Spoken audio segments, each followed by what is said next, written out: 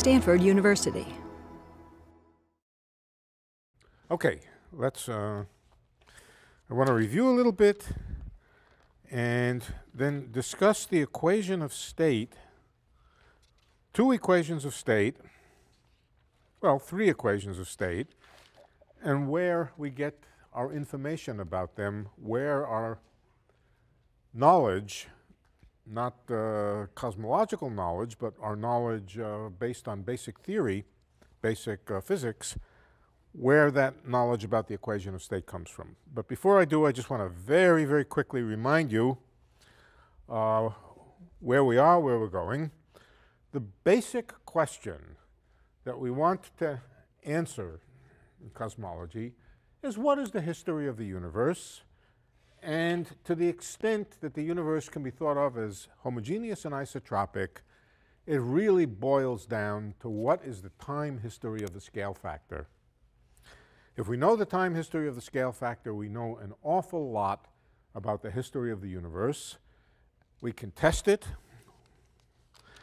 and uh, we can observe it in various ways. And so that's the question. That's a, the, uh, one, it's not the only question, but it is one overriding question that if you want to do cosmology, you better have under your control. What is A of t as a function of time? How does it evolve? I'll just remind you quickly, we, we studied some models. There was the matter-dominated model, and in the matter-dominated model, A of t expanded like t to the two-thirds. In the radiation-dominated universe, A of t expands like t to the one-half. Both of these are models. Neither one of them is exactly correct. Uh, today, at late times, this is almost exactly correct. At very early times, we believe that this was more correct, and there was a transition between them. We talked about it at length. Uh, we're going to, when we, when we get to observational cosmology, we're going to talk a great deal about how we know anything about this, how we know anything about this, and what the various meanings of them are. Uh, but not yet tonight. Okay, we talked about also the importance of the equation of state that the radiation and the matter-dominated universe are two examples of universes which evolve under different conditions which can be characterized by an equation of state. The equation of state, incidentally, is what tells us how the energy density, which is on the right-hand side of the Friedmann equations, of the cosmological equations, it tells us how the energy density changes with changes in the scale factor. For example, it tells us in the matter-dominated case, matter-dominated, it tells us that rho is equal to some constant, let's call it rho naught, divided by a cubed. And the a cubed is just the volume of a piece of space as it expands. The density is the amount of energy in it divided by the volume. And that's just something over a cubed. In the radiation-dominated case, which we're going to talk about extensively today, where, where the equation of state comes from, uh, rho goes like rho naught divided by a to the fourth. This is radiation-dominated. Now, the difference between these two originates in the difference between the relationship between pressure. I'm going to, I'm going to review these things quickly now. Uh, in the relationship between pressure and energy density, there are many, many, the relation between pressure and energy density is called the equation of state in cosmology. It's also part of the equation of state of a statistical mechanical system, which usually involves other variables like temperature. But in cosmology, we make a simplifying assumption that, uh, that the energy density and the pressure are simply related, and for, sim for simplicity and because it covers a lot of interesting cases, we take the equation of state to be pressure is equal to some number called W, and W is a number. It characterizes the fluid, whatever it happens to be, times the energy density rho. Let me just go back again and show you how the equation of state tells you these two different types of things. The equation of state for matter dominated, let's start with that one first. The equation of state for matter dominated. What matter dominated just means particles or galaxies, non-relativistic matter, and stuff which is in its own local frame, moving slowly. Okay, what is the energy density? The energy density basically comes from just, let's call it the E equals mc squared energy of a particle at rest, the rest energy of the particle. Since we tend to set C equal to 1 in this class, it's just energy is equal to the mass of a particle. That's the energy of a particle at rest. But if we're thinking about particles which are all moving slowly, oh, let, us put back the c squared. Let me put back the c squared for a minute. The energy density is the number of particles per unit volume times the energy of a particle, and it has this big fat c squared in front of it. It's relative, the c squared is the speed of light, and it gives a huge magnitude to the energy of even a very light particle. A dust grain because of its mass, a tiny dust grain has enough energy in it to cause a big explosion, okay, if it were annihilated. So the energy density due to the particles is large. On the other hand, the particles are moving slowly. Where does pressure come from? Now, first of all, the particles are moving very slowly by comparison with the speed of light. Their motion is non-relativistic. What does pressure come from? Well, pressure comes from particles hitting the walls of a system. If we were just to think about a simple ordinary gas in a, in a volume of space, pressure comes just by particles hitting the wall. It's proportional or related to the velocity of the particles that hit the wall. It contains the mass. Mass is important. If a bowling ball hits the wall, it creates a bigger force on the wall than if a ping pong ball does. But whatever is hitting the wall, it's hitting the wall slowly because all of these particles are moving slowly which means the pressure does not contain the speed of light in the formula for it. What does it contain? It contains the velocities of particles instead. And because it doesn't contain the speed of light, typically the pressure is much, much smaller for ordinary non-relativistic particles, much, much smaller than the energy density. That's the approximation that the pressure is approximately zero compared to the energy density, and that corresponds to W equals zero. So for non-relativistic uh, matter density, W is equal to zero. For radiation, W is equal to a third, and we'll prove that in a little while. But let me just again go back and quickly remind you how we use that.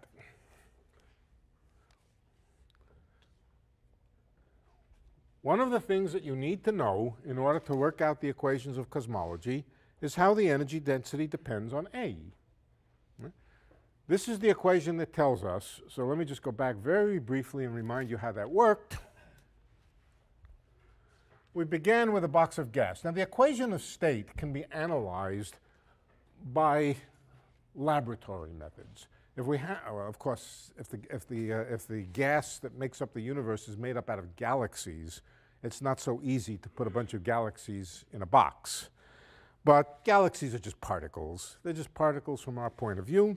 You can put particles in a box, and in the box you can investigate the relationship between the energy and the pressure. And that's what we are interested in. So let's take a box with a certain pressure. The pressure on the walls of the box, let's take the pressure on this wall of the box here, it's equal to the force on that wall divided by the area. Force per unit area is the thing that's called pressure. Or force is equal to pressure times area. Force is equal to pressure times area. Now let's suppose we expand the box a little bit. We expand the box a little bit, increase its volume a little bit. Let's say we increase its volume by increasing this side by amount dx, keeping everything else the same. What happens to the, uh, to the energy inside the box? Well, the, if the box is exerting pressure on the walls and we move the walls, then the gas inside the box does some work on the walls. Work is equal to force times distance. And so there's a little bit of work that's done. And what's the work that's done? The work is equal to the force on the wall. This is the work, the force, times the distance that it's displaced. And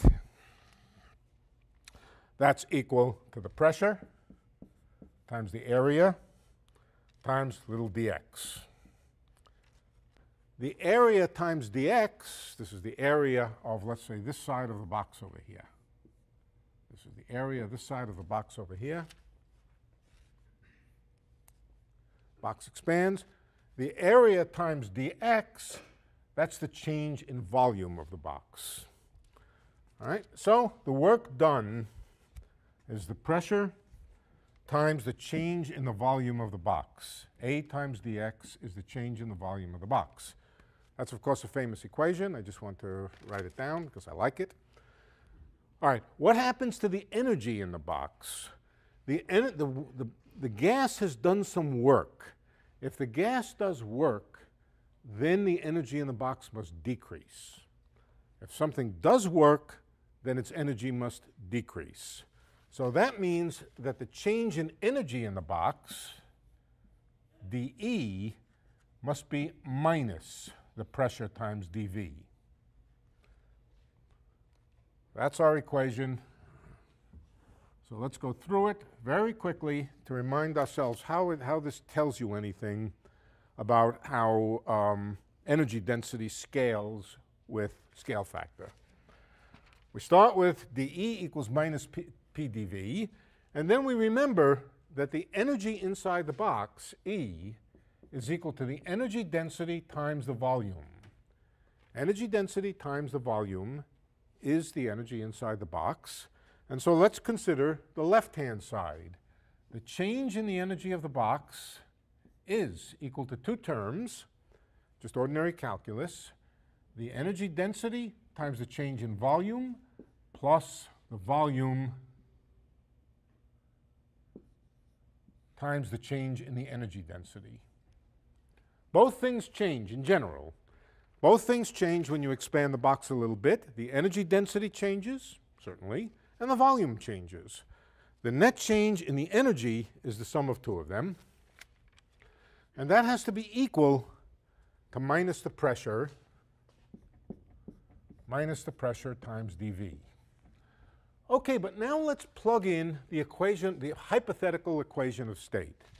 Something we haven't really justified yet, but let's plug in our guess for an equation of state that pressure is equal to W times energy density. And that just changes P to minus the number W times the energy density.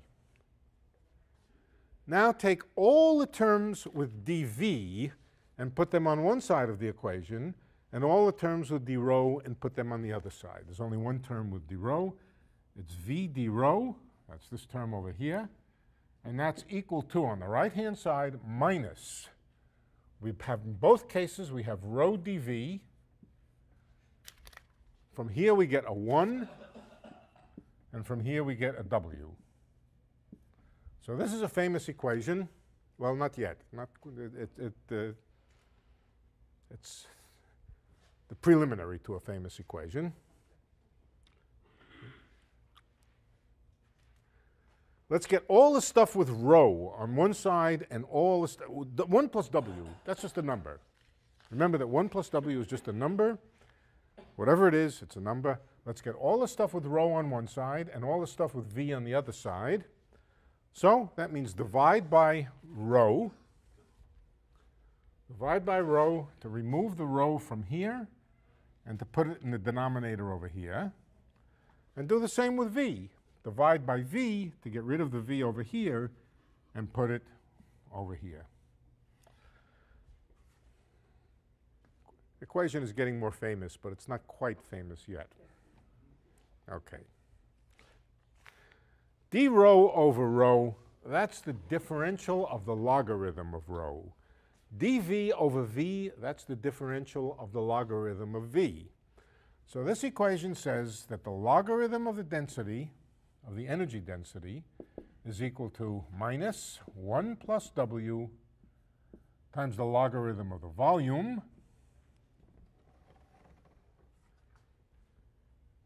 or that the energy density is 1 divided by the volume to the 1 plus w power.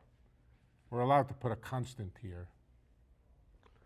Now it's a famous equation.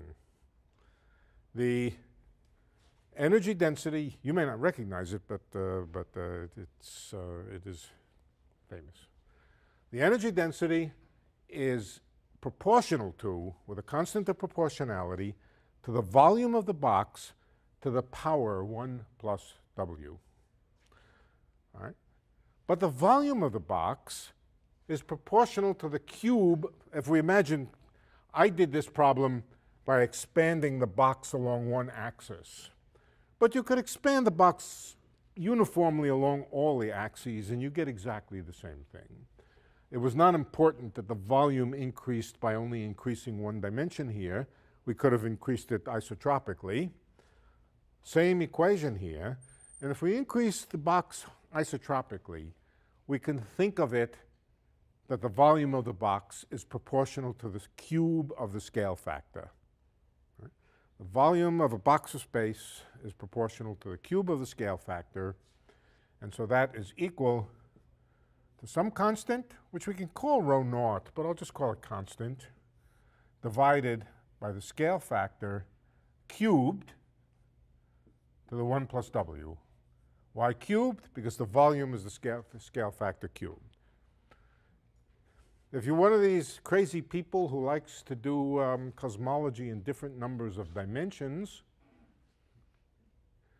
then this cubed could become the fourth power, it could become the second power, and so forth, but otherwise it would be the same. Uh, but if you're a sensible three-dimensional per person, this is the formula. And this formula now is famous.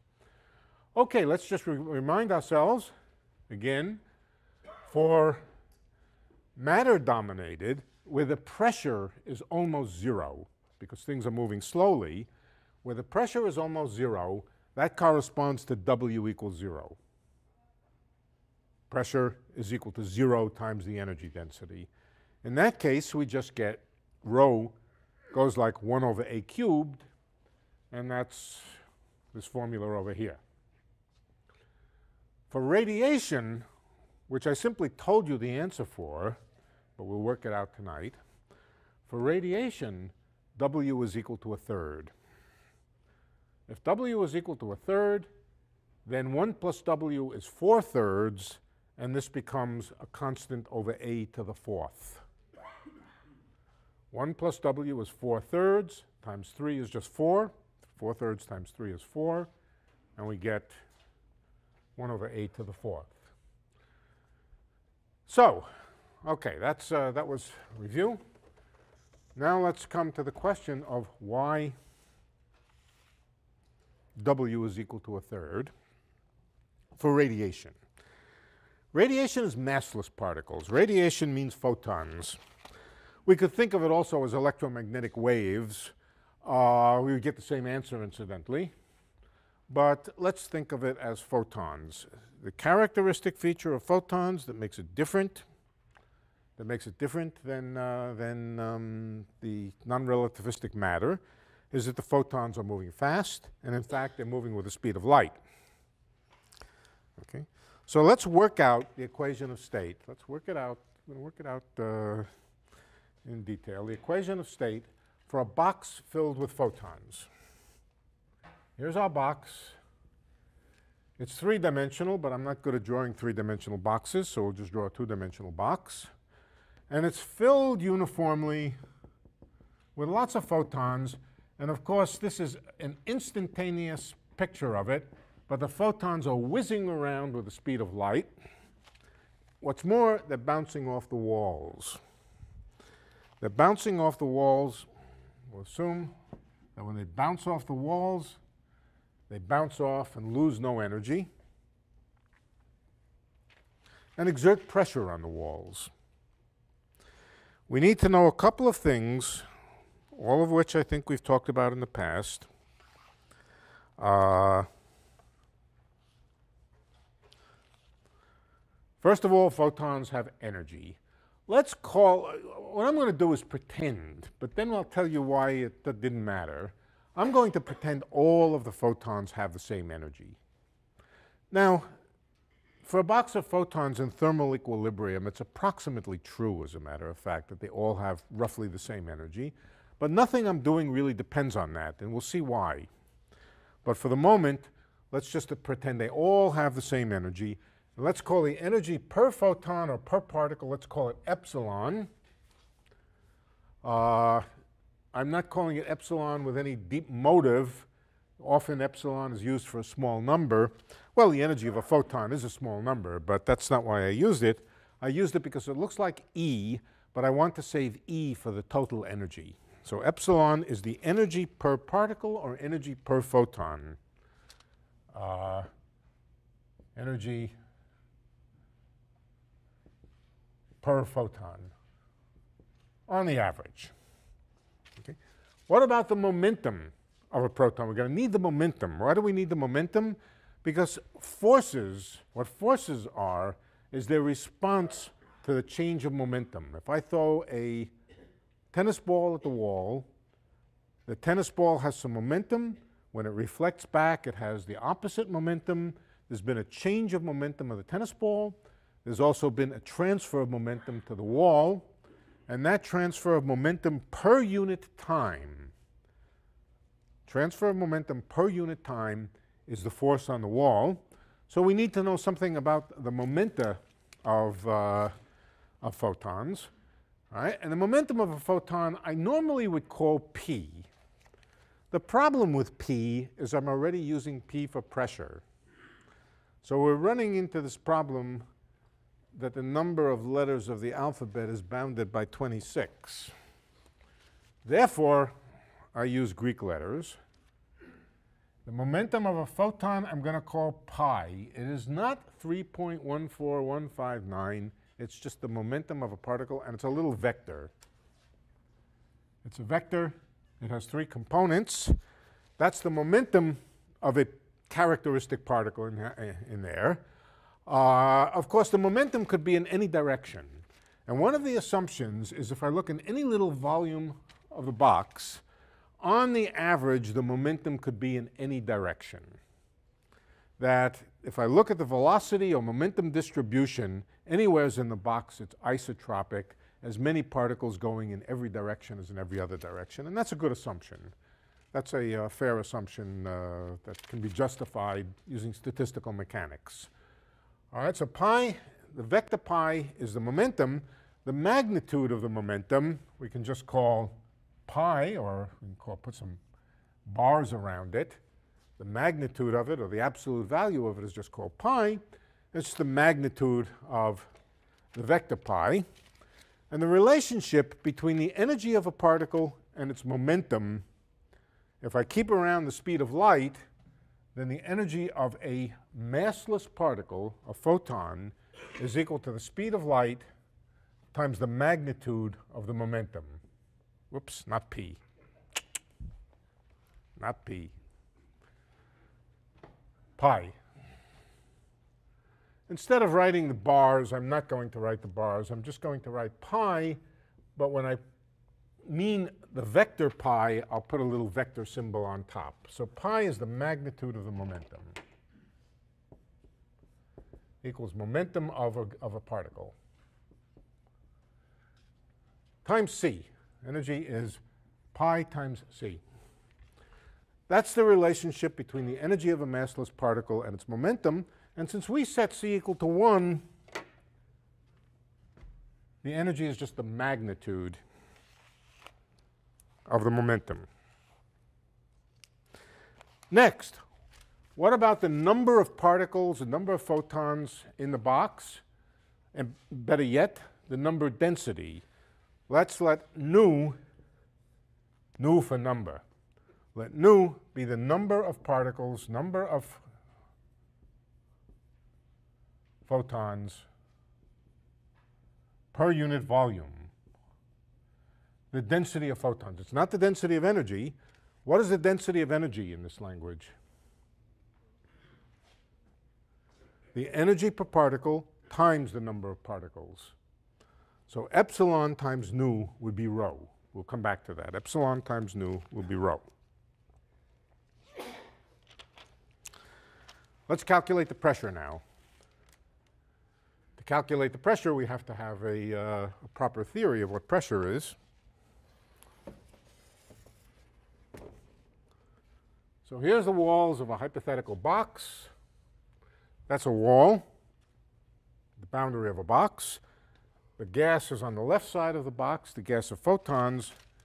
And let's take a little volume here. I'll tell you what this is. Let's consider a little time interval, delta t. Take a little time interval, delta t. And what I'm going to be interested in is how many particles hit the boundary of the box and transfer momentum to it in the time interval delta t. Now, the answer is a particle will hit the boundary in time delta t if it's close enough. Oh, incidentally, what's the velocity of these particles? One. One. Oh, c, yeah, c. But we'll take it to be one. All right, if the particle is moving horizontally to the left, where does it have to be in here in order that it will hit the boundary within time delta t? And the answer is quite clear. If delta x is less than, or, or if delta x is equal to delta t, and I make this little interval here, delta x, then any particle moving to the right with horizontal velocity will hit the wall in time delta t. But what if it's not quite moving to the right? What if it's moving at an angle theta? So let's take a particle moving at an angle theta. Then it will hit the wall of the box. Let me get the equation straight. If delta x is equal to delta t times cosine of the angle theta if the cosine of the angle of theta is 1, that means it's horizontal, then the particle will hit the corner of the wall of the box if it's, in, if it's within delta x equals delta t. On the other hand, supposing cosine theta, supposing theta is perpendicular, is um, vertical, supposing theta is 90 degrees, what's the cosine of 90 degrees? Zero. And that's, of course, correct if the particles are moving almost vertically they will only hit the box if delta x is very small. They'll have to be very close to hit the box in time delta t. So this is the condition. All particles within a distance delta x will hit the wall of the box if delta x is equal to delta t times cosine theta. Now let's take particles moving at angle delta theta.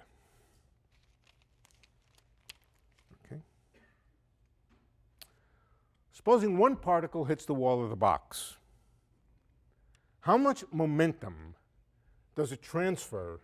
How much horizontal momentum does it transfer to the wall of the box? Well, the magnitude of the momentum is epsilon. Let's call this, um, yeah, let's say delta pi the change in the x component, what we're thinking about now is a particle which hits the wall and bounces off. And it transfers some x momentum to the wall. How much? Well, the magnitude of the momentum that it started with was epsilon. That's the magnitude of the momentum. Its component along the x-axis is epsilon cosine theta. So that's the component of the momentum. And How much momentum is transferred? Twice that much. Why is it twice that much? Because it starts moving with a certain momentum, it bounces back, and the amount of change of momentum is twice its momentum. So the change in the momentum of that particle along the x-axis is twice epsilon cosine of theta. Now let's divide that by delta t. I'll tell you in a moment why we're dividing it by delta t. Oh, yeah, that's, that's right. Twice epsilon cosine theta. Let's divide it by delta t. Why am I dividing it by delta t? Because the force on the wall is the change of momentum per unit time, is the transfer of momentum per unit time. That's Newton's equations. The change, the force on an object is the time rate of change of its momentum.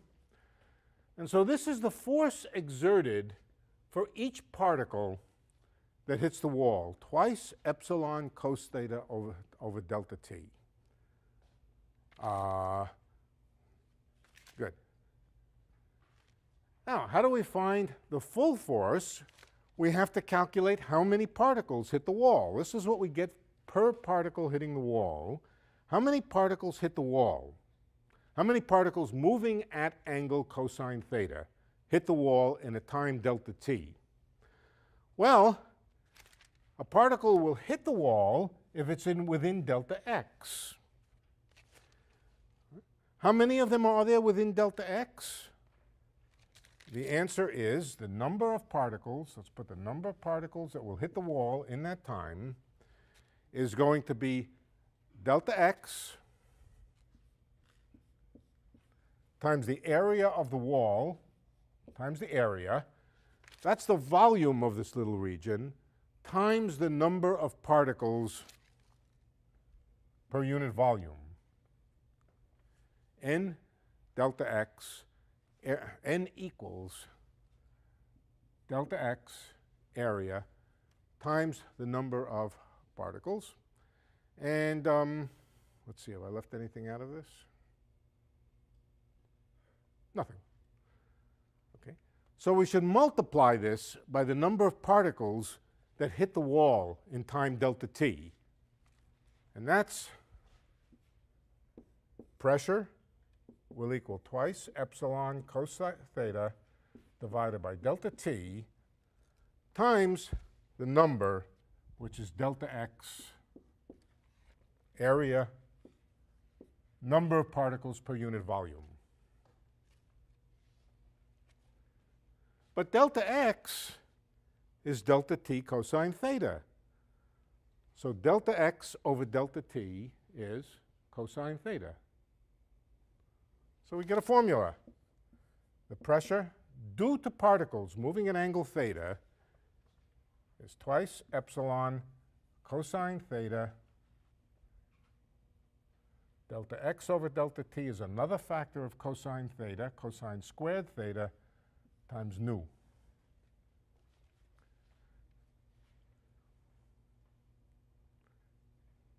There's one mistake in this formula, the factor of 2.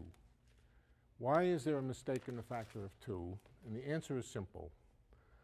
A particle, if it's in here and moving toward the right, will hit the wall. But one moving toward the left won't. So half the particles per unit volume are unavailable to hit the wall. Really, we should only count those particles whose x component of velocity is toward the wall. The other particles moving in the opposite direction are not going to hit the wall. So we've really overestimated by a factor of 2, and that's correct. That is correct. We've overestimated by a factor of 2 because in putting in here the full number of particles per unit volume, I've put too many in.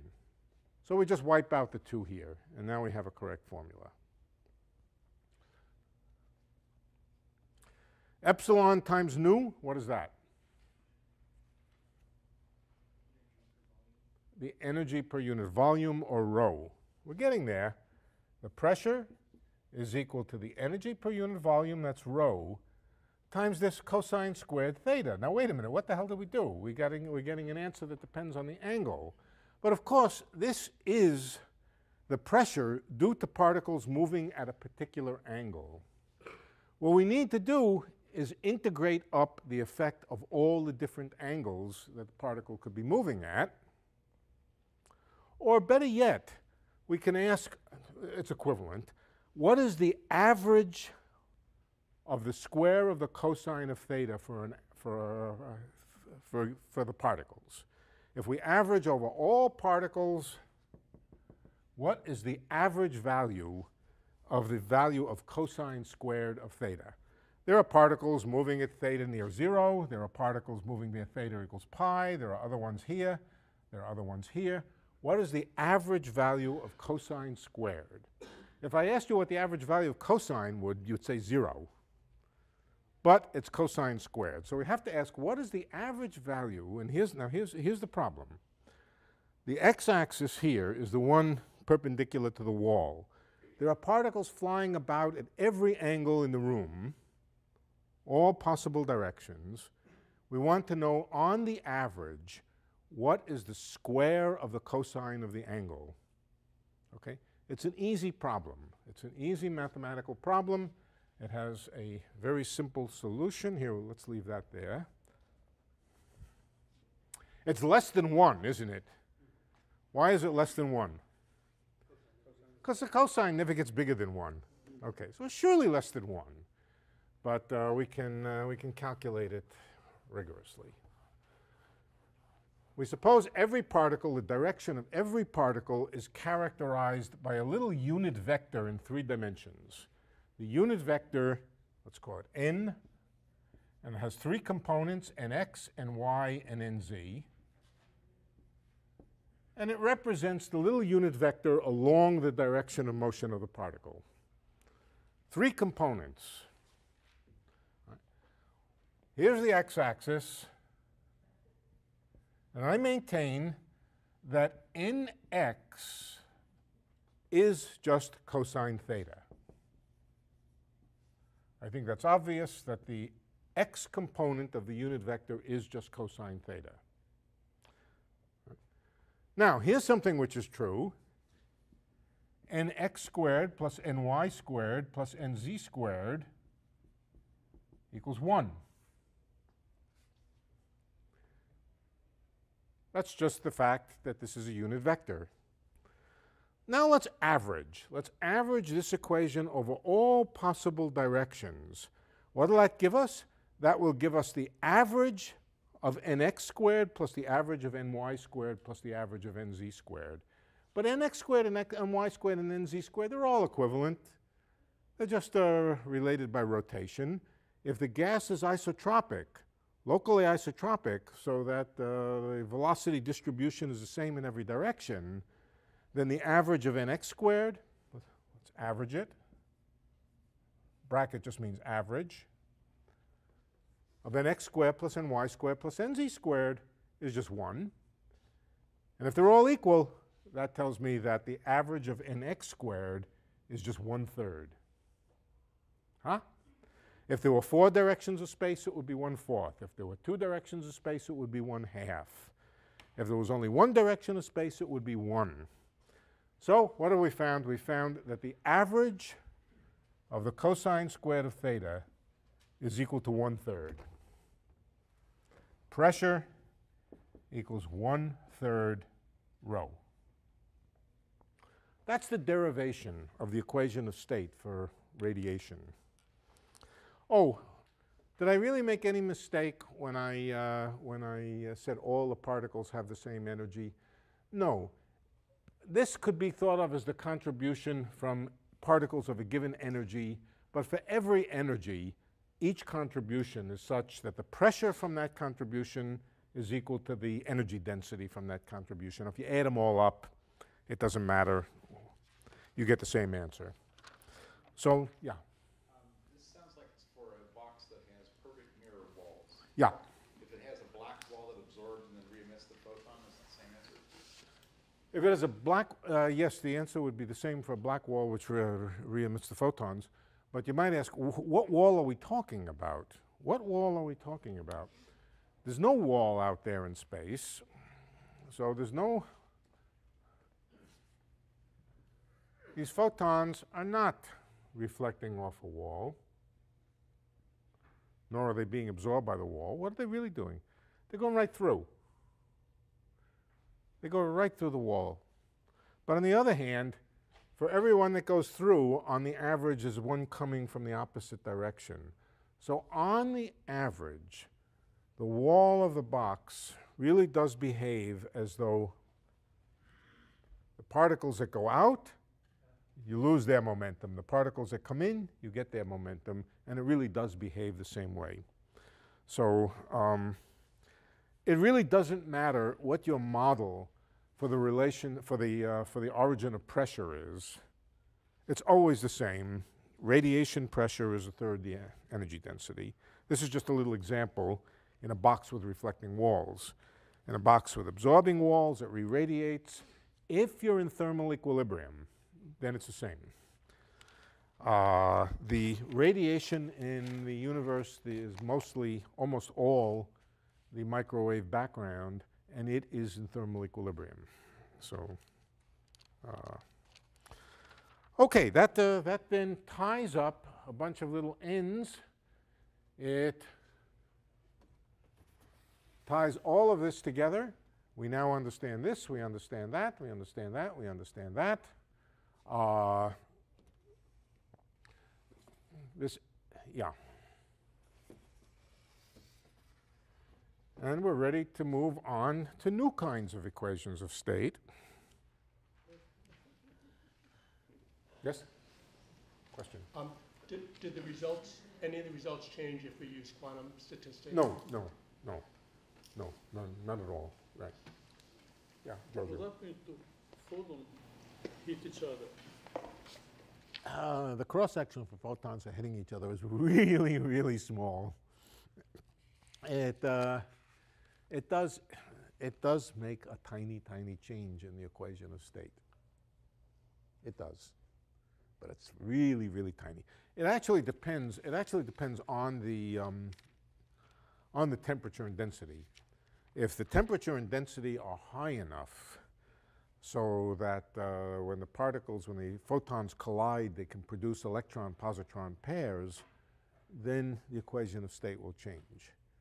And uh, that's the main effect. That's the main effect, that's, uh, but that's exceedingly high temperatures, exceedingly, way, way, way beyond. And the temperatures that we're talking about are very low. Uh, well, they, they, by, that, by comparison with that, they're very, very low.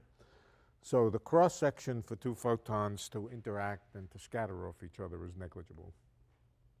But it, it, it in principle would affect things, yeah. Yeah. Oh, uh, what happened to the area is when I calculated the pressure, it's the force per unit area. Did I leave it out? Did I throw it away somewhere else? Oh, yes. Um, oh, oh, over here, pressure, pressure, pressure. This should have been force. This should have been force. Total force was the force due to one particle times the number of particles that hit it, and then force divided by area is pressure.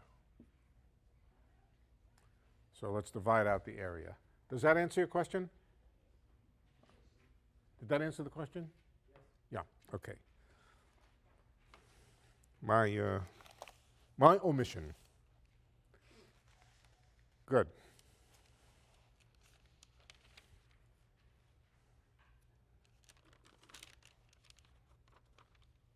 Any questions? Do you find that hard or easy? Not too bad. Okay. Now, can energy density ever be negative?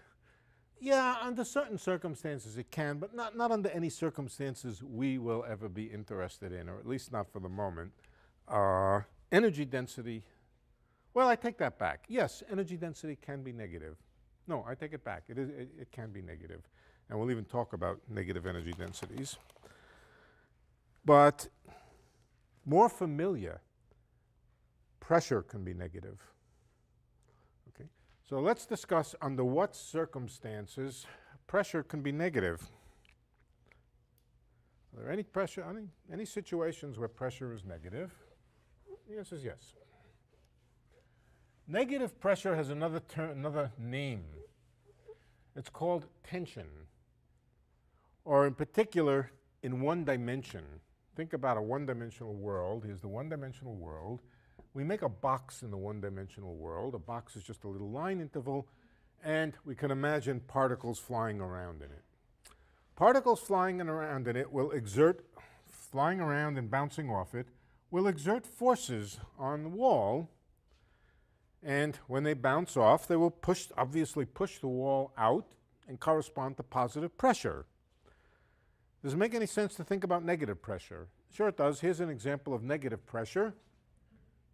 Instead of particles flying around, imagine that the two ends here were connected by a string or a spring. Just imagine there was a spring in space that connected the two ends of the box. When you pull them apart, the spring pulls back. It doesn't push the walls of the box out, it pulls the walls of the box in. That's tension. The tension of the spring is effectively a negative pressure. When you, for positive pressure, when you increase the size of the box, you do some work on the wall of the box, and the energy decreases on the inside. For tension, when you pull against it, you increase the energy on the inside. So if for some reason you had negative, uh, negative pressure, but let's say positive energy, then W would be negative. That's a possibility. We should think about it. In fact, if I, uh, if it wasn't absolutely central to cosmology, I wouldn't even be telling you about it, so it is central that pressure can be negative, even if energy density is positive. Pressure tends to be, pressure will be positive if you have a bunch of particles moving around which uh, don't interact with each other very much and mainly just bounce off the wall. If the particles are attracting each other, they're pulling themselves together, and if they also attract the wall, they will pull the wall in. So there are certainly circumstances where pressure can be negative. And as I said, it corresponds to tension. We're going to talk about an example called vacuum energy where pressure can be negative, where pressure typically is negative. Okay, so let's talk about a special kind of energy density that's called vacuum energy. It is a consequence of quantum field theory. But we, need, we don't need to know where it comes from to describe it. Vacuum energy is just a energy that we assign to empty space. We don't need to know where it comes from just to say, I can, in my bookkeeping, not in my bookkeeping, I can uh, conjecture that just empty space with nothing in it has energy. Now we know where that energy comes from in quantum mechanics. It comes from zero point energy of fluctuation. It comes from the zero point energy of harmonic oscillators which represent uh, the, uh, the quanta of the field.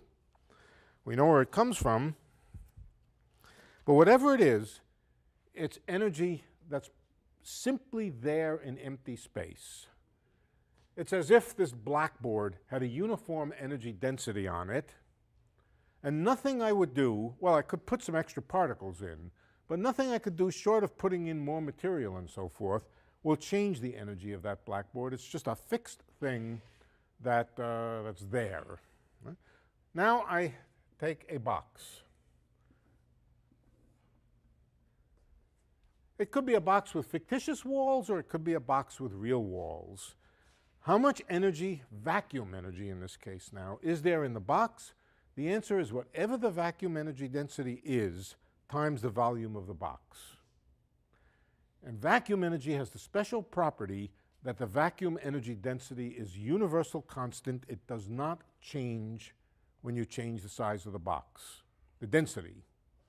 It's just a characteristic of empty space, and as long as the box only has empty space in it, the vacuum energy density is fixed.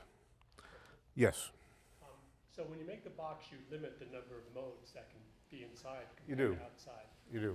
So it would seem like the density would be uh, less inside than outside. You limit the, number, that's why, no, that's why the energy is less than the energy in all of space. If I didn't limit the number of modes, I would just be talking about the energy in all of space, and surely the energy in the box is less than the energy in all of space. I mean, energy density.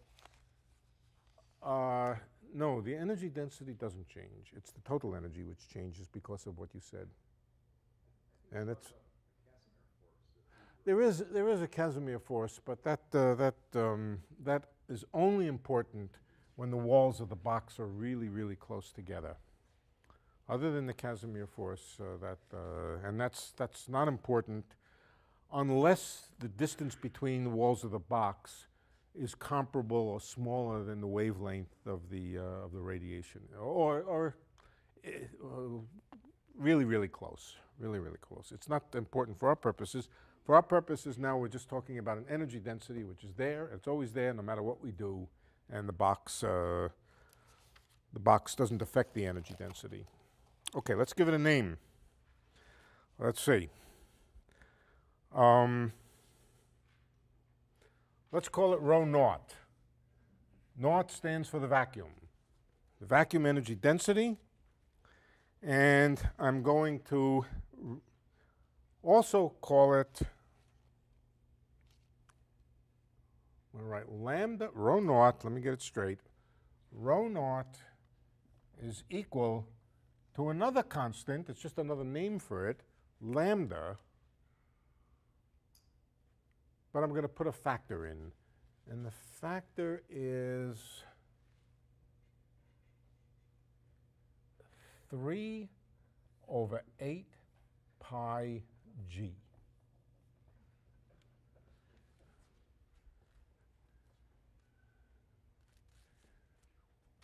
Energy density is energy density. We know what we mean by it. 3 and 8 pi g are numerical constants. This defines lambda. It is the definition of lambda. There's a name for lambda. It's called the cosmological constant. The relation between the two left side and the right side is trivial. It's just a definition. You'll see why. You'll see why uh, why it's useful to define lambda. You know what? Uh, uh, it's useful. Why, why is it useful? I'll remind you why it might be useful. Let me just remind you about the Friedmann equation. The Friedmann equation says that a dot over a squared is equal to 8 pi g over 3 times rho plus, other, plus maybe 1 over a squared or something.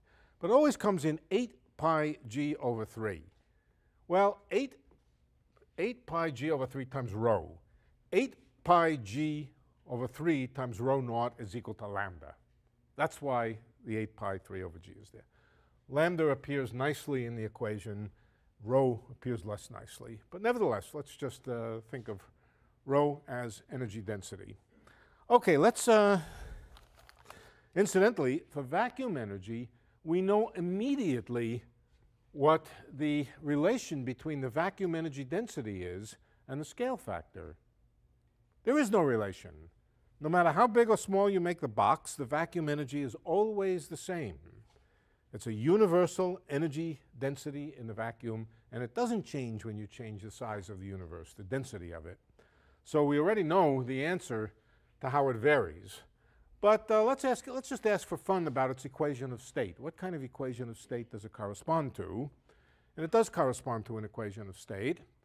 Let's, go, let's work this backward. We'll work this backward now. And let's work it backward for the special case of a vacuum energy density. So the energy is equal to rho naught times V, and rho naught does not change. So d rho is zero.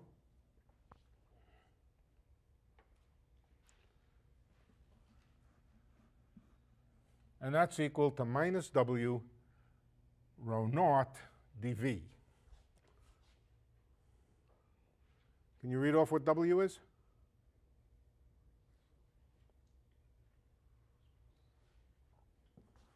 Not very hard.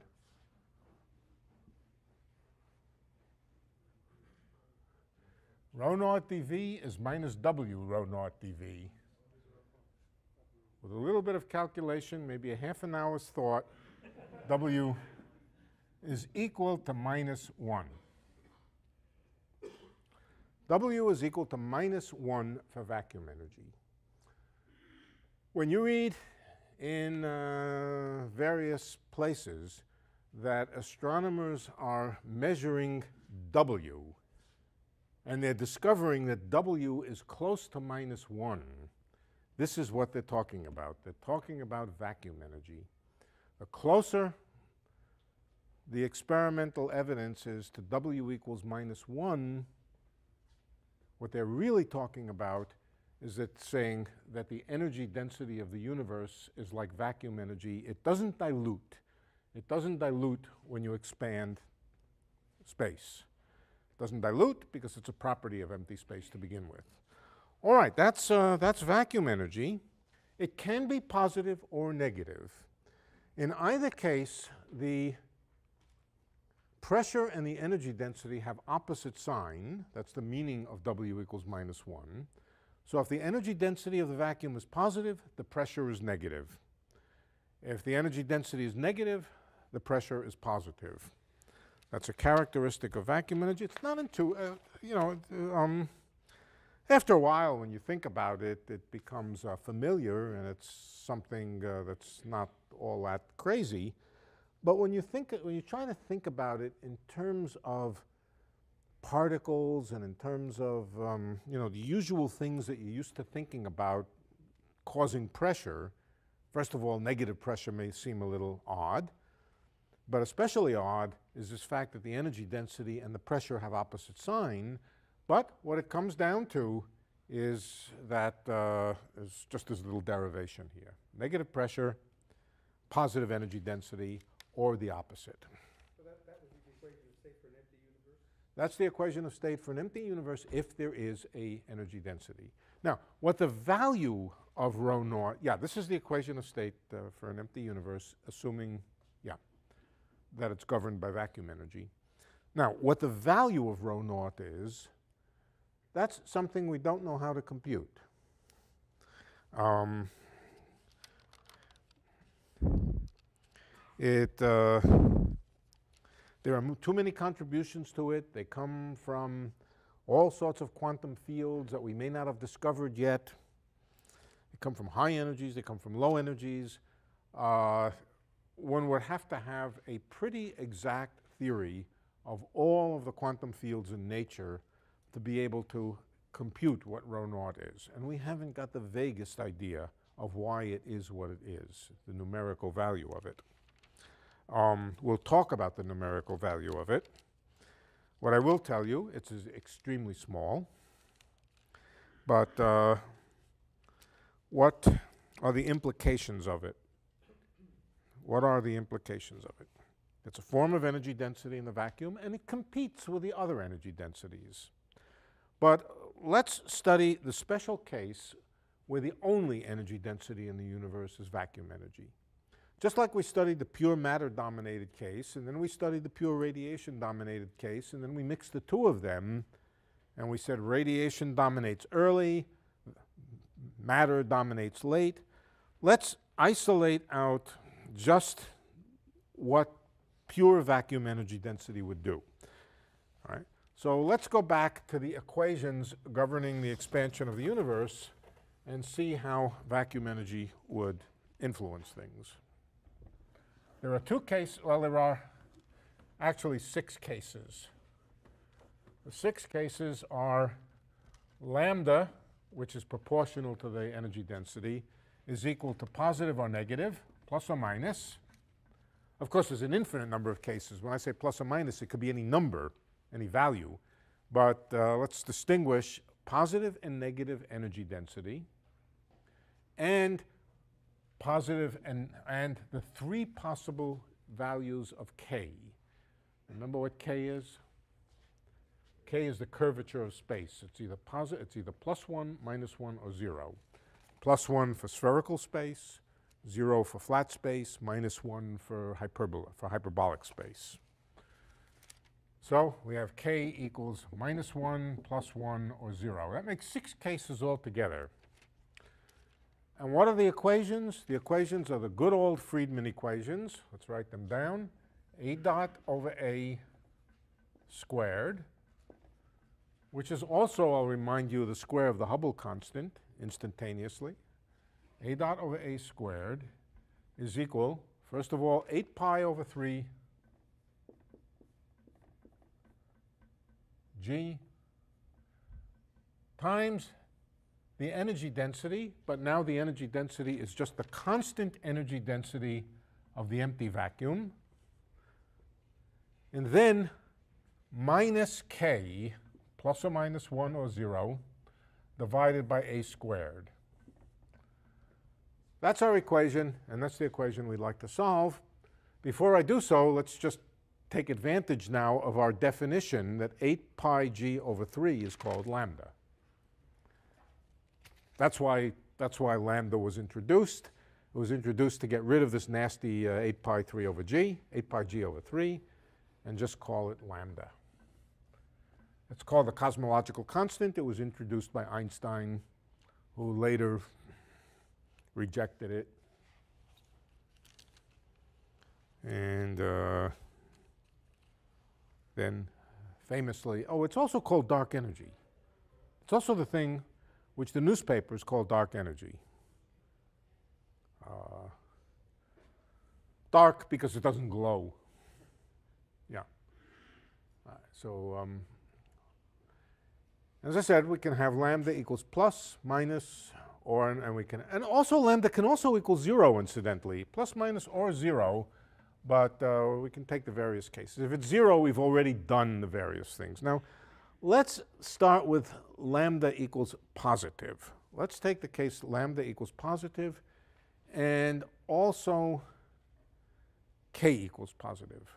We'll, there are fewer cases that, may, that are relevant. I'll, I'll show you some cases which don't make any sense. First of all, supposing lambda is negative and supposing k is positive then both sides of this equation are negative, but this side is positive, and so it can't make sense. So the case, the case uh, lambda negative and k positive, that doesn't make any sense. There's a number of other cases that don't make any sense, or at least that don't have any solutions. But let's take one which does have a solution. Uh, the simplest case, this is by far the simplest case. Let's take k equals 0. We'll come back to the other cases. Let's take k equals 0 that's the flat universe. Space is flat, and uh, the scale factor satisfies this equation here. And let's solve it. To solve it, we take the square root. A dot is equal to the square root of lambda times A. All right, so what's the solution? A dot means dA dt. Let's write it out. dA dt And this is the equation whose, such that the time rate of change of something is proportional to that something. What's the solution of such an equation? Exponential growth. Okay. Now notice that if lambda were negative, we would be having a problem here immediately. Would make no sense. So lambda being negative and k equals zero, no good. Doesn't make sense. No solution. But lambda equals positive and uh, k equals 0. There is a solution. And what is the solution? The solution is that a grows exponentially with time. a is equal to some constant. Doesn't matter what constant you choose. Uh, it actually doesn't matter. They all give the same answer uh, for, the, for the geometry. Times e to the t, but what's the coefficient in front of t? Square root of lambda, right?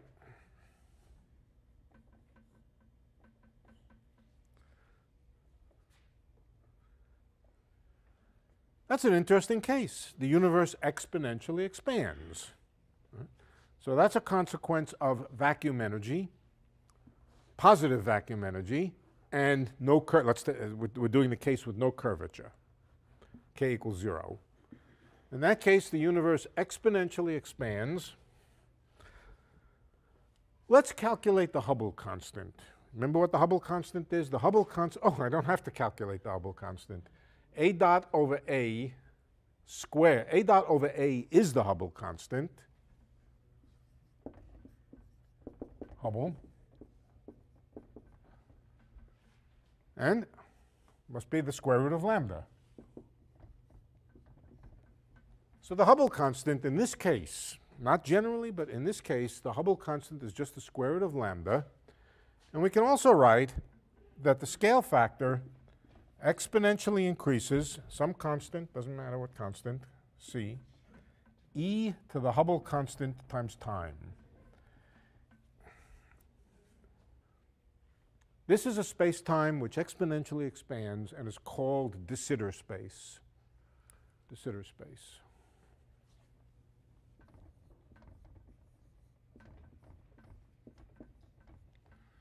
De Sitter was a Dutch physicist astronomer, and he discovered this solution of Einstein's equations with a cosmological constant, and it's named after him. We still call it. He, he discovered it sometime, I, I, think it was about 1917, I'm not sure, very, very shortly after Einstein. Uh, right. And uh, this is one version of de Sitter space, exponential expansion. Um, yeah. So in this case, the Hubble constant is actually a constant, even with respect to time. Right, that's, that's right. This is the unique geometry with a Hubble constant which is constant. There was also no Big Bang. This has to go to minus infinity to go to zero. A equals zero, right? That's a little bit, uh, that's, this is, uh, this is a little bit ambiguous, and um, I will try to explain to you why it's ambiguous. Um, let's, let's hold off on that. This geometry, all right, if you want a technical set of words, this geometry is not geodesically complete. Um, there are trajectories back into the past which go to the infinite past in a finite proper time. That means some of the geometry is missing, but we'll take that up separately. We'll take it up when we get to it. And uh, it's, it's a problematic question of whether there's a big bang uh, in this kind of space or not. However, this kind of space doesn't exist by itself. Um, there's no reason why we shouldn't put back other kinds of matter into it.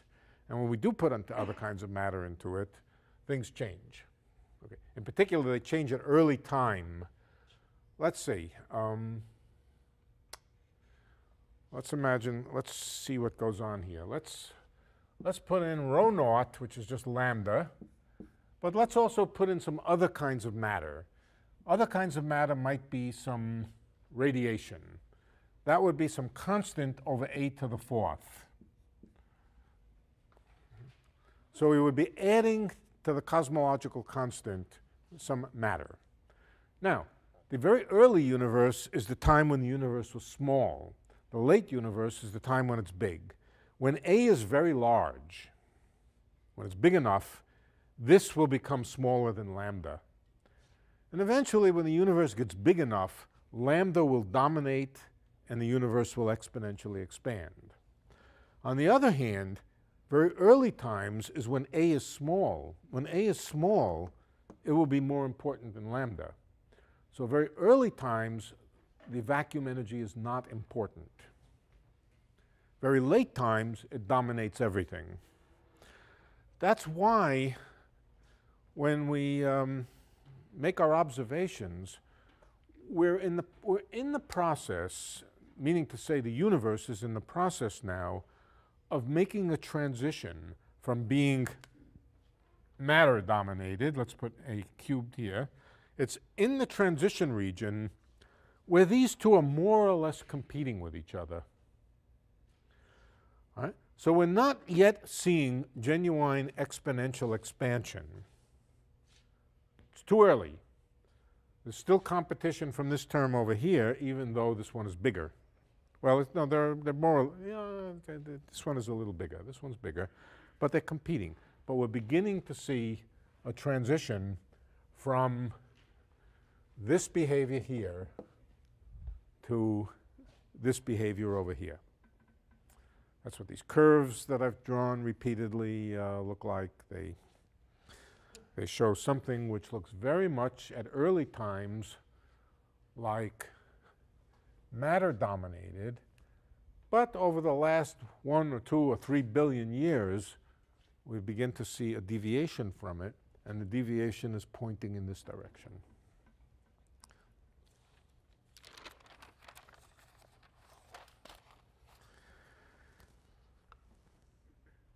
Why is it called accelerating? It's called accelerating for the simple reason that if a increases exponentially and we calculate the acceleration, that just means the second time derivative, it's also increasing exponentially.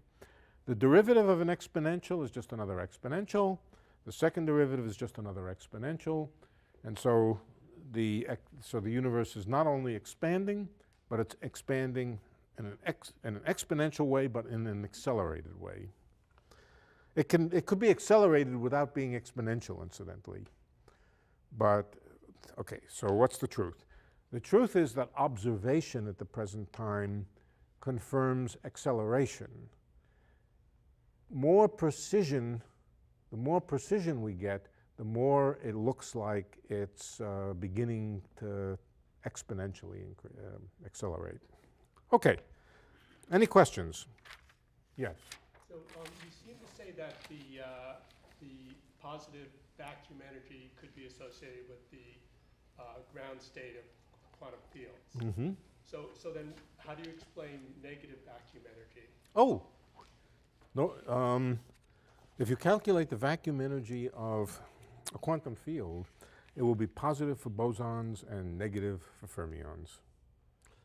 So it's just a fact of uh, fact of mathematics that the vacuum energy for for bosons is a half h bar omega for each fluctuating mode, and it's minus a half h bar omega for each fermionic uh, mode. But we're not going to try to answer the question where the vacuum energy comes from and what it's due to. Um, what is much weirder than having vacuum energy is having no vacuum energy. There is no known theory, uh, no known theory that's in any way consistent with the world as we know it, which would predict zero vacuum energy. So when people talk about the mysterious uh, dark energy, what they should be saying is it's very mysterious that there's so little of it. Um, we can discuss in what sense it's numerically very small, but it must be numerically very small in some sense if it took so long to discover it. Really, no, no, I mean that. I mean that. If it were big enough to cause an exponential expansion that we could see in this room, of course, it would blow everything apart. It would uh, be a disaster for us. But if it had any appreciable size, then we would have discovered it. The fact uh, we did discover it, but it was very hard to discover, and it took enormous, um, enormously big telescopes seeing to the end of the universe, in effect, and uh, that's an indication that, in some sense, it's a very small number, and it is. Yeah.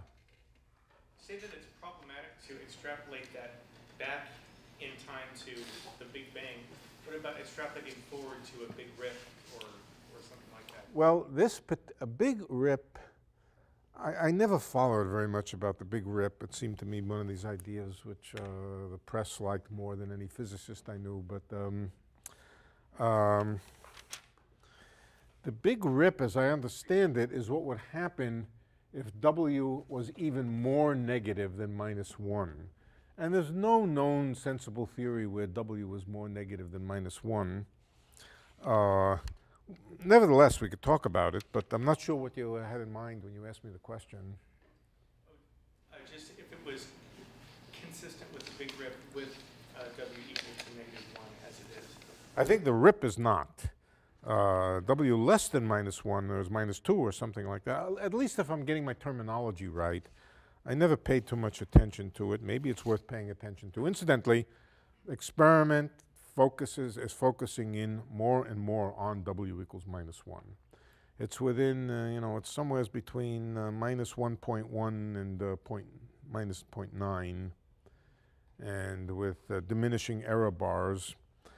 But uh, I think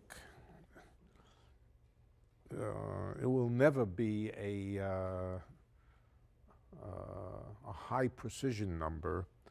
But I think they can do, they, they can narrow it down more. Um, yeah. If you had exact supersymmetry, then omega would equal zero. Yeah, it could. It could.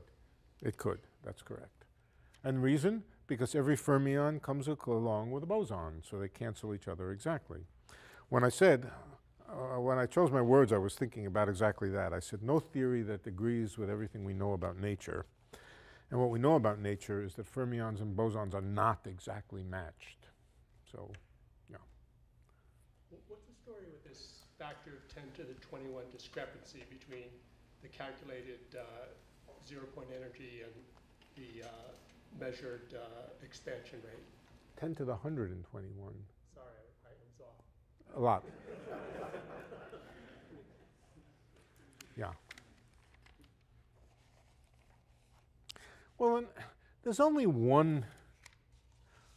Most of the constants of nature that we usually call constants of nature are not terribly uh, fundamental.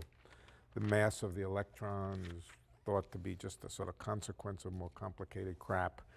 There are the really fundamental constants of nature are c, the speed of light, Planck's constant, and the gravitational constant. Why do I say they're fundamental? Because there's a sense in which they're about universal things. Um, yeah, I mean, let me slow down and, and discuss this a little bit. What is universal about C? Nothing. Nothing in the world can move faster than speed, C. No signal can uh, uh, go faster than the speed of light. So it really does have a universality to it. It's not uh, conditional on saying, well, we're going to be using um, um, um, oatmeal to send messages. It, uh, it's, it's, it's fundamental. You can't get past it. It's. What about Planck's constant? Planck's constant is also universal. It has to do with the uncertainty principle. No matter what object you're talking about, it doesn't matter if it's a bowling ball or an electron, uncertainty in position times uncertainty in momentum is always greater than or equal to Planck's constant, period. So it has a certain universal aspect to it. Um, the Newton constant is also very universal. Again, think of the law of gravity. All objects, all, exert forces between them gravitationally, which are equal to the product of their masses, the distance between them squared, and Newton's constant. So it's the use of the word all in all of those three cases, which says um, uh, that there's something deep and fundamental there. There are other constants that we sometimes talk about. Uh, let's say the ratio of the electron, well, the electron uh, mass to the proton mass. Um, it's pro- it is probably true that all protons and electrons have the same ratio to mass, but there's zillions of particles, lots of different particles. The ratios of masses are not in any special way universal. So we tend to think of G, H bar, and C as very fundamental. Now, out of G, H bar, and C, out of those constants, you can make an energy density. You can make an energy, you could, first of all, you can make a unit of energy. It's called the Planck energy. The Planck energy corresponds to the energy of a mass of about 10 to the minus 5 grams. In other words, a macroscopic mass, well, a microscopic macroscopic mass, not like an elementary particle, but like a um, little bit of dust. A little bit of dust, if it were to annihilate, the energy that would be released is the Planck energy or the Planck mass, and it's about a tank of gasoline or something like that. It's a lot of, it's a lot of energy. there's a Planck length. The Planck length is a very small length, and there's a Planck time.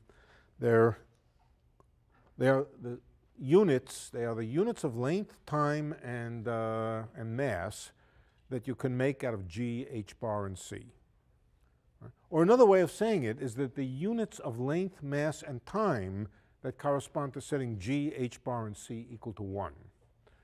Now, if you can make a unit of length, the Planck length, and it's 10 to the minus 33 centimeters, you can also make a unit of volume. The unit of volume is 10 to the minus 99th centimeters.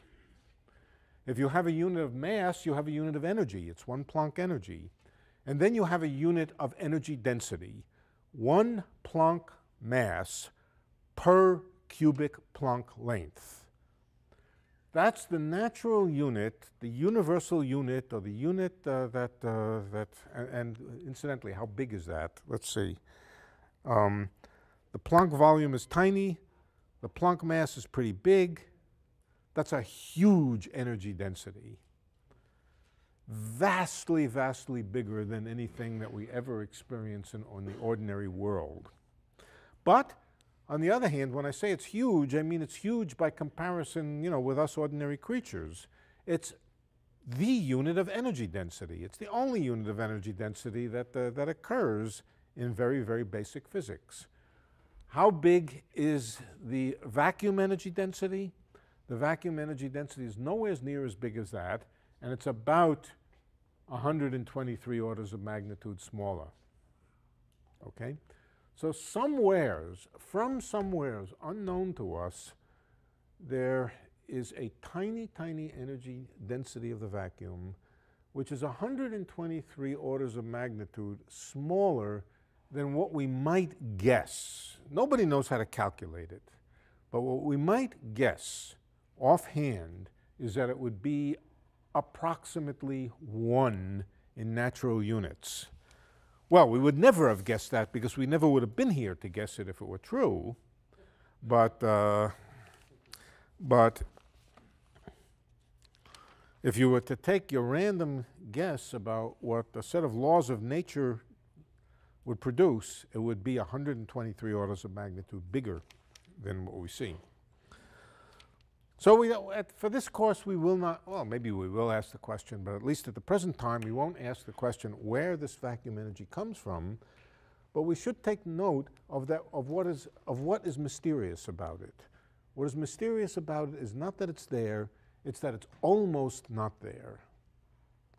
That, uh, that it's the lack of it, which is the mysterious fact. Okay, uh, yeah. I want to do another example, but uh, another, another case.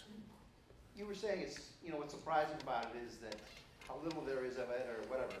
But, but that, but when they discovered it, they were sort of surprised it was even there at all. That's a, that was that was more psychological than anything else. Um, you know, at some time in the history of astronomy, it was possible to um, to try to detect it, let's say, at the level of 10 to the minus 100. Uh, 10 to the minus 100 is rather big, incidentally. I think it's probably much too big. Uh, but uh, at some time in the history of astronomy, 10 to the minus 100 could be discovered, but not 10 to the minus 101, 101. It was too small. All right? Astronomers did not discover it at the level of 10 to the minus 100. It seemed to be zero at that level. So they pushed ahead and they looked for it at the level of 10 to the minus 101, still zero. 10 to the minus 102, still zero. 10 to the minus 103, 10 to the minus 120, still zero. 10 to the minus 121, still zero. You got the feeling that maybe this thing really is zero for reasons that we don't know.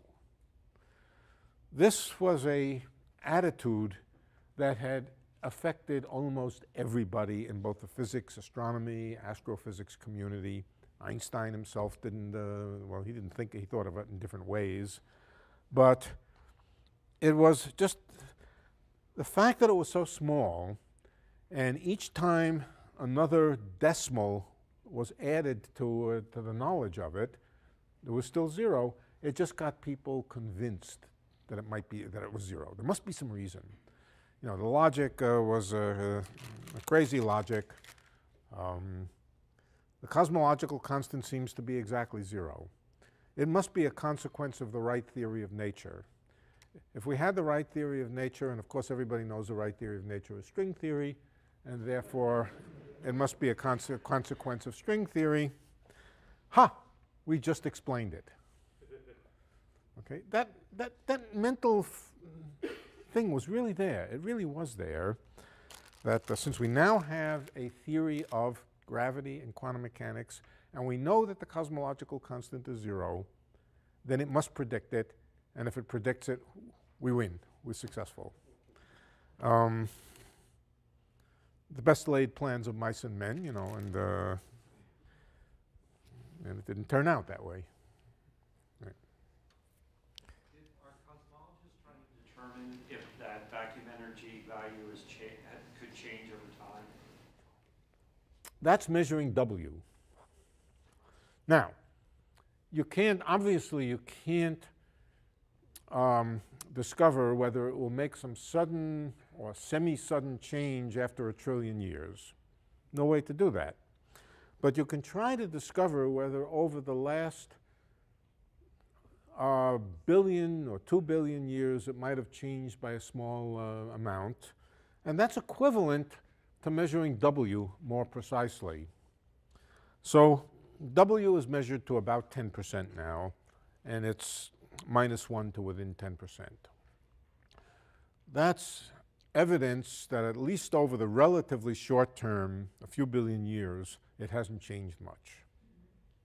Hasn't changed by more than a few percent. Um, I think we'll never be able to nail it completely. Does the dimension that the observer is in make a difference in the value of W? And since we're inherently in the third dimension at the present, does that explain why we have that disparity? Like if we were in the fourth or say eleventh dimension, would we see these things differently? Or, No, not really. They're pretty similar. It, it's, it doesn't depend much on dimension. so the, the shift that we see in the expansion universe wouldn't be any different if we were in the eleventh dimension right now instead of the third? Be pretty similar. Yeah. Details would be different. General pattern would be the same. All right, let's uh, do another case just for fun. Let's do lambda positive. I'm not sure where my equation is. I lost. Ah, empty board. Okay.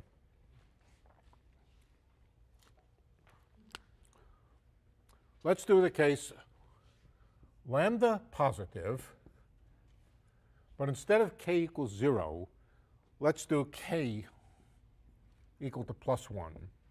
So this is the spherical universe, the positively curved universe, but with a positive cosmological constant. Let's try that one.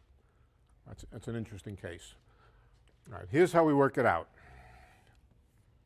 Here's how we can uh, intu- intuit the rough properties of it, and then I'll give you the exact solution. A dot over A squared is equal to the energy density, rho, and then if k is equal to plus 1, we get minus k over A squared. That's our equation with k equal to plus 1. Oops, this is not right. I don't mean rho here, do I? I mean 8 pi g over 8 pi g over 3 times rho. But that's the same as lambda. So here's our equation.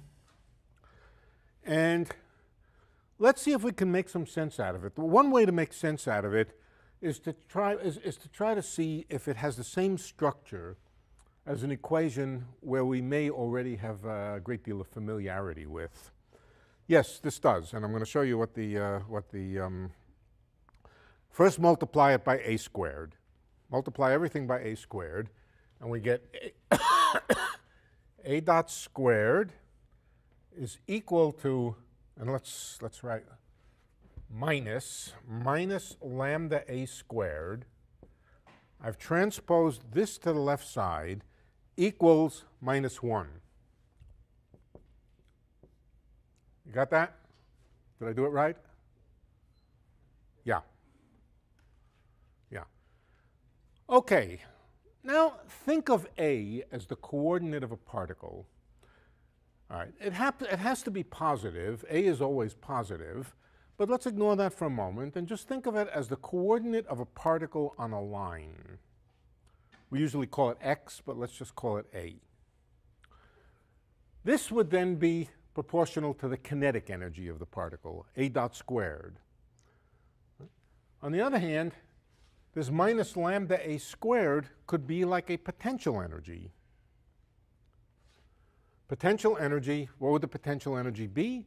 It would be minus the constant lambda times a squared. That would be a potential energy of a slightly unusual kind. It would be negative because of the minus sign, and it would increase with a squared. So it would be an upside down parabola. A dot squared minus m lambda a squared equals minus 1. What does that say? That says the total energy kinetic of this fictitious particle, the total energy kinetic plus potential is just equal to minus 1. So the vertical axis here is energy. Why is the vertical axis energy? Because it's potential energy. Imagine that you had a particle now moving in this kind of potential which had a total energy equal to minus 1. That's over here. How would that particle move? Well, there's pretty much only one kind of motion it can have. You can throw it in from far away. It'll hit the wall over here and bounce back. Think of, it, think of this as a high hill. You can throw something up the hill, it will get so far, and then it will go back down the hill. Or you can start it. Another way to think about it is start it with total energy equal to minus 1, that's over here, and let it go. It'll just fall back down. But then you can say, let's take, let's take the falling down, reverse it, and think of a kind of bounce where you go up, come to a rest, and go back down. A gets bigger and bigger, or A starts big, shrinks, comes to rest, and then goes back down. That's what this equation is describing. Uh, if we solve this equation, basically it is the equation for a motion of a particle that comes up a hill and back down a hill. What does A look like as a function of time? If I plot time this way and A this way, then it starts out big in the past at negative time, it shrinks and goes back up. In other words, it's some kind of new kind of cosmology where the universe shrinks, reaches some size, bounces, and comes back out. Can we solve it exactly? Yes, it's not hard to solve exactly. I'm going to tell you what the solution is. You can work it out yourself and check that this is the solution.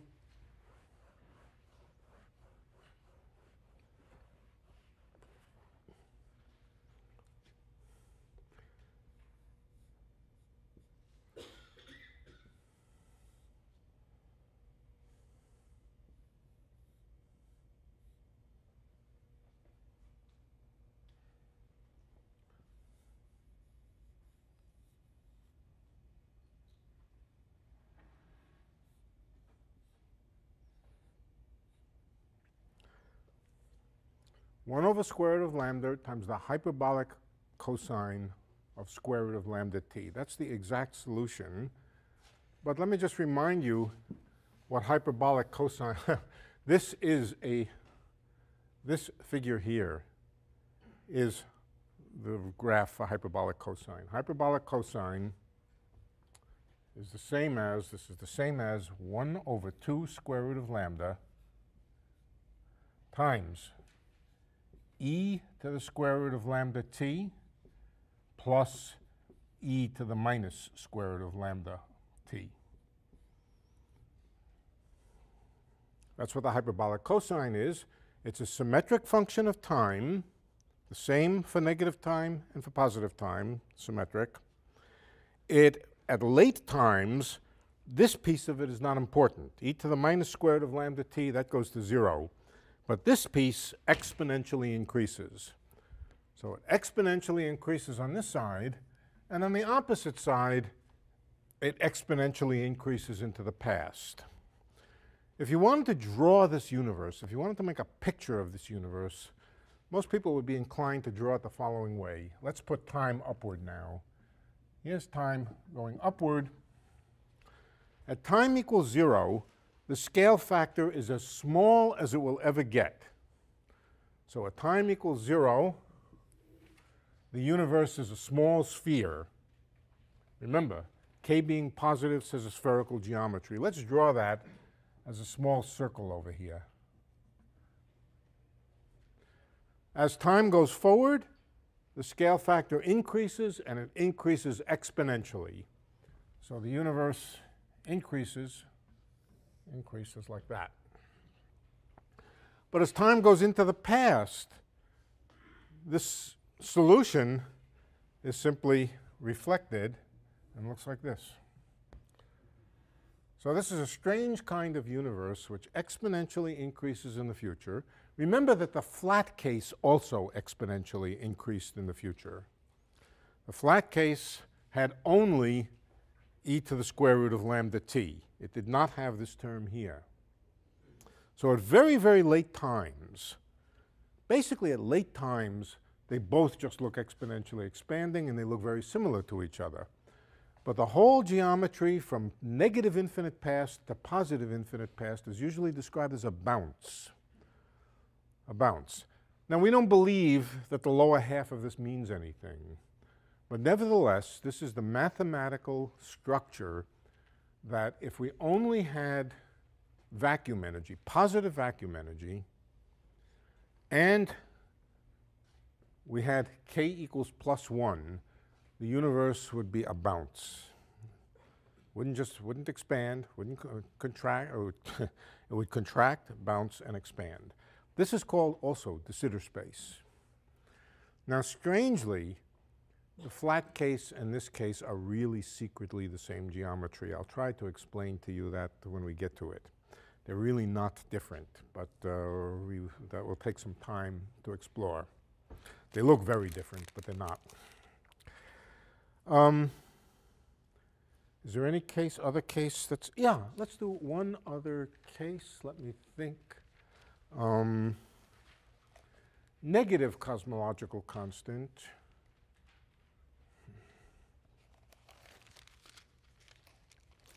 Let's try a case with negative cosmological constant and see what we can learn. All right. Lambda is now negative. Let's describe that by putting a minus sign in front of it over here.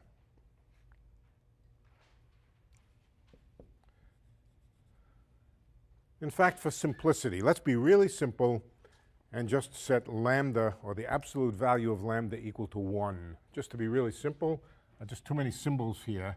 Let's call it minus 1. Cosmological constant that happens to be minus 1 in some units or another. Minus 1 over a squared, but it's really minus k over a squared. Minus k over a squared. Now, if k is 1 in this case, in other words, if space is positively curved, this equation is nonsense. On the left-hand side, a positive thing. On the right-hand side, a negative thing, if k is positive. So the answer is there is no solution uh, with a cosmological constant for the positive, for, with a negative cosmological constant for the, positive, for the positively curved case. But for the negatively curved case, there is. Let's see if we can figure out what it looks like.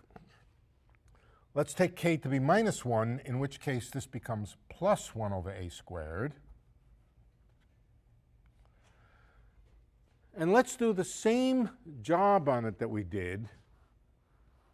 Here's our equation. Let's convert it to a simple mechanical system. Let's see what mechanical system this corresponds to. With positive cosmological constant, it corresponded to a potential energy which uh, just, you know, went off into the basement. Let's see what happens now. Let's multiply by a squared so that we get a dot squared, no a squared in the denominator, equals minus a squared plus 1. Got that? Multiply by a squared. Let's transpose the a squared to the other side. It becomes a dot squared plus a squared. If I had kept the lambda around, it would multiply this, but let's not. Let's just keep it plus a squared equals 1. Now, what kind of system are we talking about? If this is kinetic energy and this is potential energy, the potential energy is plus a squared. What kind of system has a potential energy which increases quadratically with displacement? Hmm? Harmonic oscillator. Right.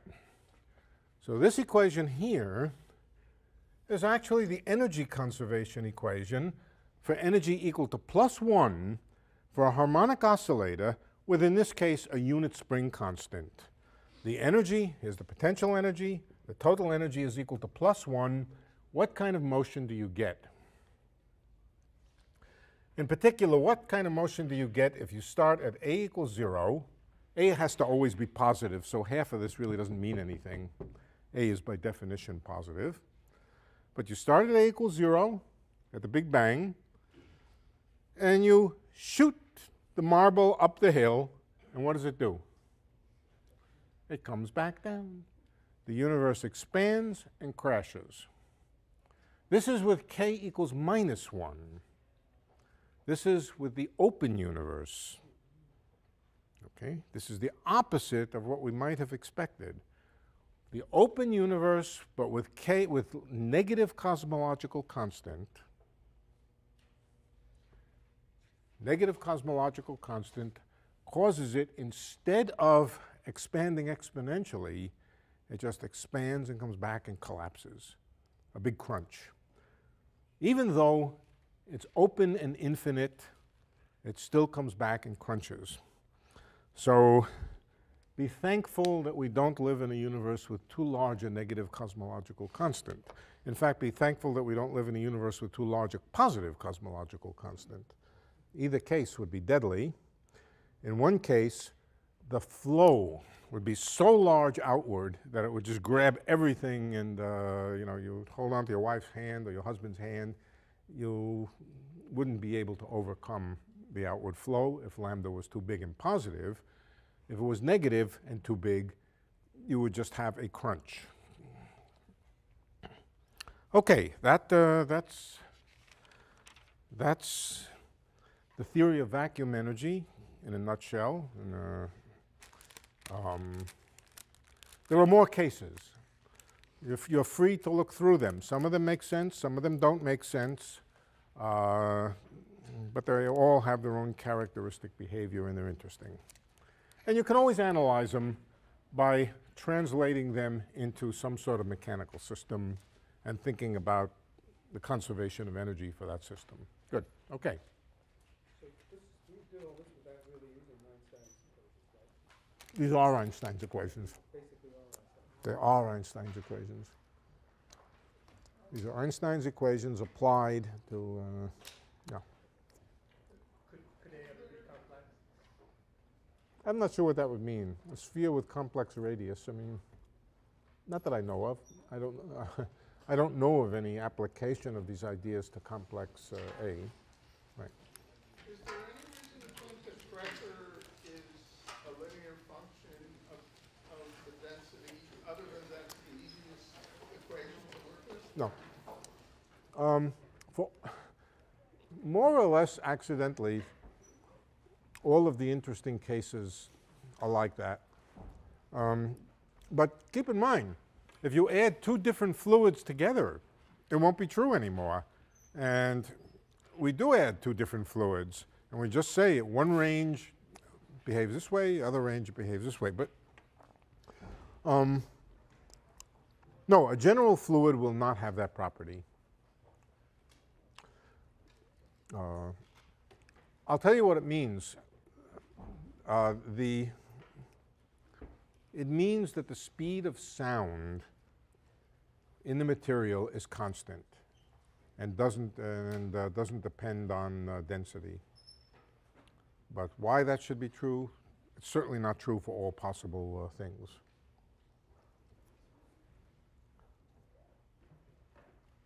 Okay. For more, please visit us at stanford.edu.